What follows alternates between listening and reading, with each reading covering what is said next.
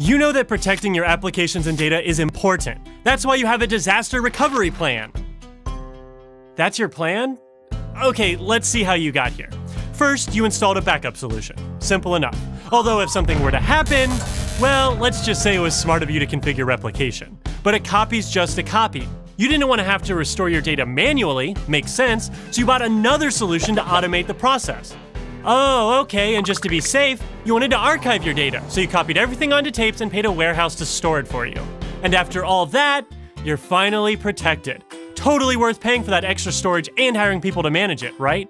Now, when someone comes to you freaking out at 4:58 p.m. because they just lost their entire day's work, you can just, "Oh shoot, your data only backs up every 24 hours, so that work is gone."